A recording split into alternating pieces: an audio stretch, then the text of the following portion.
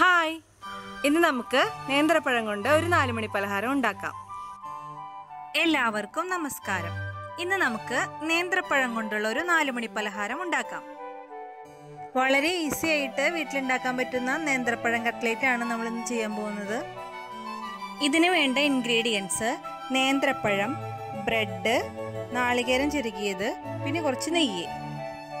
ഞാനിവിടെ പഴുത്ത മൂന്ന് നേന്ത്രപ്പഴമാണ് എടുത്തിട്ടുള്ളത്. അഞ്ച് ബ്രെഡ് സ്ലൈസും എടുത്തിട്ടുണ്ട്. കാൽ കപ്പ് നാളികേരം ചെരുകിയത് പിന്നെ ആവശ്യത്തിന് നെയ്യ്. ആദ്യം തന്നെ നമുക്ക് ഈ നേന്ത്രപ്പഴം ഒന്ന് പുഴുങ്ങിയെടുക്കണം. അതിനു വേണ്ടിയിട്ട് ഞാനൊരു കുക്കറിൽ വാഴയില മടക്കി വെച്ചിട്ടുണ്ട്. ഇതിലേക്ക് നേന്ത്രപ്പഴം കട്ട് ചെയ്ത് ഇടുക. ഇതിലേക്ക് ഒരു കാൽ ഗ്ലാസ് വെള്ളം കൂടി ഒഴിച്ചിട്ട് പുഴുങ്ങിയെടുക്കാം.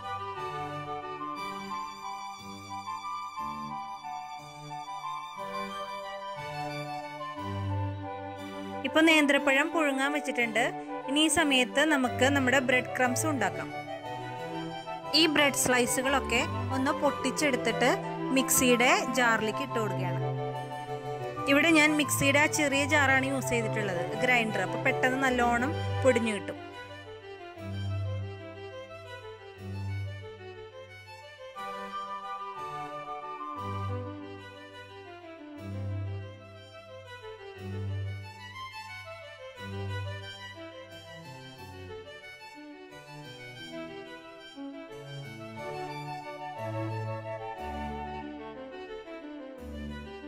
നമ്മുടെ ബ്രെഡ് ക്രംസ് ഇപ്പോൾ റെഡി ആയിട്ടുണ്ട്.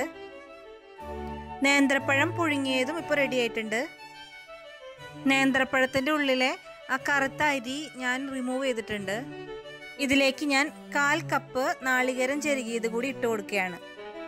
ഞാനിവിടെ ആദ്യം അര കപ്പ് ബ്രെഡ് ക്രംസ് ഇട്ട് കൊടുക്കുകയാണ്.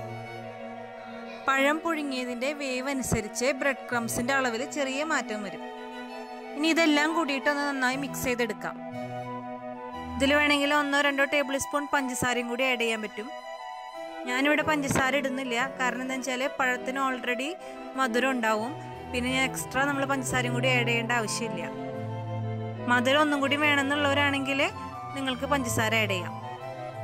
നമുക്കിതിനെ ചെറിയ ബോൾസ് ആക്കി ഉരുട്ടിയെടുക്കണം. അതുകൊണ്ട് കുറച്ചും കൂടി ബ്രെഡ് ക്രംസ് ഇടാം. അപ്പോൾ എപ്പോഴും നമ്മൾ പഴം സെലക്ട് ചെയ്യുമ്പോൾ ഒരു മീഡിയം പഴുപ്പുള്ള പഴമാണ് സെലക്ട് ചെയ്യേണ്ടത്. അങ്ങനെയാണെങ്കിൽ ബ്രെഡ് ക്രംസിന്റെ അളവ് കുറച്ചിട്ടാൽ മതി. കൂടുതൽ പഴുത്ത പഴമാണെങ്കിൽ ബ്രെഡ് ക്രംസ് നമുക്ക് കൂടുതൽ ഇട്ട് കൊടുക്കേണ്ടി വരും. അപ്പോൾ ടേസ്റ്റ് കുറച്ച് കുറയും. എപ്പോഴും പഴത്തിന്റെ ക്വാണ്ടിറ്റി കൂടുതൽ തന്നാലാണ് നമ്മൾ കട്ട്ലേറ്റ് ഉണ്ടാക്കുമ്പോൾ ടേസ്റ്റ് കൂടുതൽ ഉണ്ടാവുക. ആദ്യം നമുക്ക് ഇതെല്ലാം കൂടിയിട്ട് ഒരു ചെറിയ ബോൾസ് ആക്കി എടുക്കാം. ഹെൽത്ത് വൈസ് ആയിട്ട് പറയുകയാണെങ്കിൽ പഞ്ചസാര ഒഴിവാക്കാൻ പറ്റുന്ന സ്ഥലങ്ങളുണ്ടെങ്കിൽ നമുക്ക് ഒഴിവാക്കാം. ഇപ്പോൾ പഴം അങ്ങനത്തെ സാധനങ്ങളിലൊന്നും അധികം പഞ്ചസാര നമ്മൾ ആഡ് ചെയ്യേണ്ട കാര്യമില്ല. ഓൾറെഡി അതിന് മധുരം ഉണ്ടായിരിക്കും. അപ്പോൾ നമുക്ക് ഒഴിവാക്കാൻ പറ്റുന്ന സാഹചര്യങ്ങളുണ്ടെങ്കിൽ പഞ്ചസാര അവോയ്ഡ് ചെയ്യാം. ഇനി ഈ ബോൾസിനൊക്കെ എടുത്തിട്ട് നമുക്ക് കട്ട്ലേറ്റിന്റെ ഷേപ്പിലാക്കി ഒന്ന് ഉരുട്ടിയെടുക്കാം. അതിനുശേഷം ഓരോന്നും ബ്രെഡ് ക്രംസിലൊന്ന് റോൾ ചെയ്തെടുക്കാം.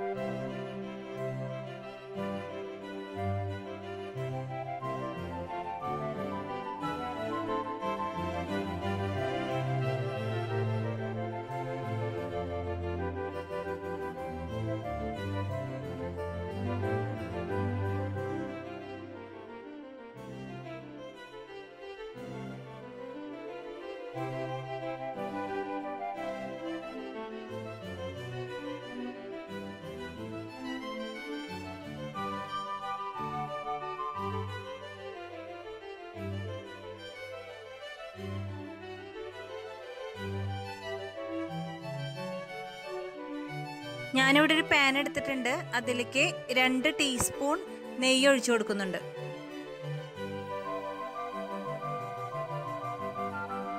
ഇനി നമുക്ക് ഉണ്ടാക്കി വെച്ചിട്ടുള്ള ഓരോന്നും ഇട്ട് കൊടുക്കാം.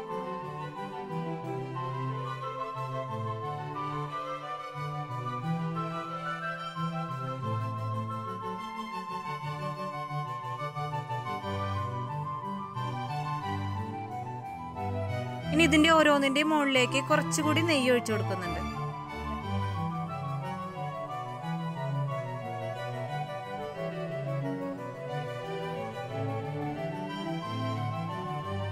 രണ്ട് സൈഡും ഒന്ന് ചെറുതായിട്ടൊന്ന് ഫ്രൈ ചെയ്തെടുക്കാം.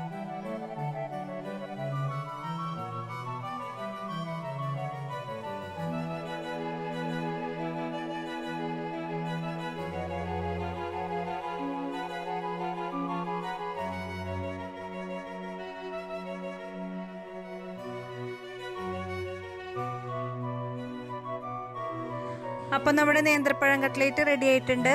അപ്പോൾ നിങ്ങളെല്ലാവരും ട്രൈ ചെയ്ത് നോക്കുക. എന്തെങ്കിലും ഡൗട്ട്സ് ഉണ്ടെങ്കിൽ കമന്റ് ബോക്സിൽ ഇടാം. അതുപോലെ എനിക്ക് ഫോട്ടോസ് അയച്ചു തരിക അപ്പോൾ എല്ലാവർക്കും നന്ദി നമസ്കാരം.